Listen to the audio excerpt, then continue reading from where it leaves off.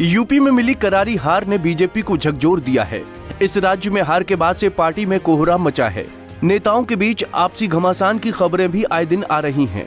BJP की समीक्षा बैठकों में भी नेताओं के बीच आपसी खींचतान दिखाई दे रही है, जिसने पार्टी और सरकार की मुश्किलों को हार के बाद और बढ़ा दिया है। इतना ही नहीं, इस हार की टीस पार्टी के साथ साथ सरकार में भी सुनाई पड़ रही है, जिसकी बानगी यूपी की योगी सरकार के फैसलों में दिखाई दे रही है। अयोध्या में हार के बाद सामने आए योगी सरकार के फैसले बता रहे हैं कि अब जनता की नाराज़गी को दूर करने की योजना पर यूपी सरकार काम करती दिखेगी। आपको बता दें कि लोकसभा चुनाव में इस बार इंडिया गठबंधन ने यूपी में शानदार प्रदर्शन किया है, जबकि सूबे की सबसे बड़ी पार्टी बीजेपी को जनता ने चुनाव में आईना दिखा दिया। पिछले दो चुनाव, साल 2014 में इकहत्तर और 2019 में बासठ सीटें जीतने वाली बीजेपी 2024 में महज 30 सीटों पर सिमट गई। वहीं अखिलेश यादव की सपा ने अकेले अपने दम पर 37 और सपा कांग्रेस के इंडिया गठबंधन ने 43 सीटों पर जीत दर्ज की है। इस चुनाव में सपा ने रामनगरी अयोध्या की फैजाबाद सीट भी बीजेपी से छीन ली है। इतना ही नहीं, काशी में प्रधानमंत्री नरेंद्र मोदी की जीत का अंतर भी 70 फ़ीसदी तक कम हो गया। अमेठी में बीजेपी की बड़बोली मंत्री स्मृति ईरानी की बुरी हार हुई है। अगर बात यूपी में बीजेपी की हार की करें तो चुनाव में जनता द्वारा दिए गए सदमे से बीजेपी और उसके समर्थक अभी तक उभर भी नहीं पाए हैं। अयोध्या की हार से बौखलाए पार्टी समर्थकों ने सोशल मीडिया में अनाप शनाप ट्रेंड चलाए। सपा के जीतने वाले सांसद अवधेश प्रसाद पासी और मतदाताओं को गालियाँ तक दी गई। लेकिन जनता द्वारा दी गई हार से सबक लेने का प्रयास नहीं किया गया। परंतु बीजेपी की समीक्षा बैठकों में सामने आई जनता की नाराज़गी की सच्चाई ने पार्टी को अंदर तक हिला दिया। उसी के मद्देनजर अब कुछ निर्णयों में योगी सरकार सुधार करती हुई दिखाई दे रही है, जिसमें अयोध्या को लेकर किए गए सरकार के कई अहम फैसले हैं, जिनको बीजेपी और योगी सरकार के पश्चाताप के तौर पर भी देखा जा रहा है। यूपी की योगी आदित्यनाथ सरकार के बदले फैसलों में अयोध्या के किसानों के विरोध का मामला भी शामिल है, जिस पर अब योगी सरकार गंभीरता दिखाती नज़र आ रही है।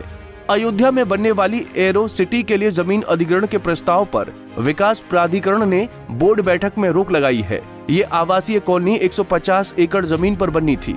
रोक लगने की वजह बीकापुर के दर्जनों गाँव के किसानों का विरोध है, जो अपनी ज़मीन का अधिग्रहण नहीं होने देना चाहते हैं। वहीं छह माह पहले रामलला की प्राण प्रतिष्ठा के समय अयोध्या में बंद की गई स्थानीय दुकानों की एंट्री को भी प्रशासन ने अब खोल दिया है। इससे यहाँ की जनता को बड़ी राहत मिलेगी। इतना ही नहीं, अयोध्या शहर में बनने वाले छह किलोमीटर लंबे फ्लाईओवर के प्रस्ताव को आवास विकास ने बोर्ड बैठक में कैंसिल कर दिया। आवास विकास ने अब फ्लाईओवर के बजाय तीन अंडरपास बनाने का निर्णय लिया है। इसके अलावा अयोध्या के विस्थापित दुकानदारों को भी राहत प्रदान करने का प्रयास सरकार की ओर से किया गया है। अयोध्या के सौंदीकरण के लिए हटाए गए दुकानदारों को अब 30 प्रतिशत की छूट देकर बिना ब्याज दुकानों का आवंटन किया गया है।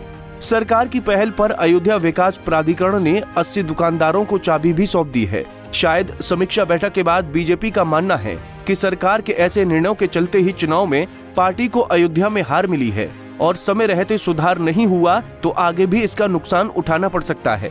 गौरतलब है कि अयोध्या की फैजाबाद लोकसभा सीट पर पिछले दो चुनाव में लगातार बीजेपी का कब्जा था। बीजेपी के लल्लू सिंह दोनों बार अच्छे वोटों के अंतर से सपा प्रत्याशी को हराकर चुनाव जीते थे, लेकिन इस बार सपा के ही अवधेश प्रसाद पासी से पचपन हज़ार वोटों से हार गए। फैजाबाद वो सीटें हैं जहाँ पर बने रामलला मंदिर का पूरा श्रेय बीजेपी ने चुनाव के दौरान पूरे देश में लिया है।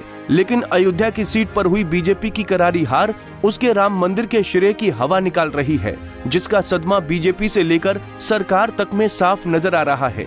हालाँकि इस हार का बदला लेने के लिए अब बीजेपी अयोध्या ज़िले की मिल्कीपुर सुरक्षित सीट पर जीत का ख्वाब देख रही है। ये सीट अवधेश प्रसाद पासी के सांसद बनने के बाद इस्तीफा देने से खाली हुई है, जिस पर अगले दो से तीन महीने में उपचुनाव होने की संभावना है। ऐसे में सरकार के बदले फैसलों से लग रहा है कि उपचुनाव को देखते हुए ही बीजेपी अयोध्या में डैमेज कंट्रोल की मुहिम में जुटी है।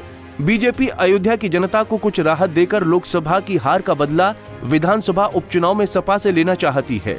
हालाँकि ये समय तय करेगा कि इस चुनाव का ऊँट भी किस करवट बैठेगा। Bureau report, Punjab Kesari TV हमसे जुड़े रहने के लिए हमारे YouTube चैनल को सब्सक्राइब करें और नई वीडियो की नोटिफिकेशन के लिए बेल आइकॉन को दबाएँ।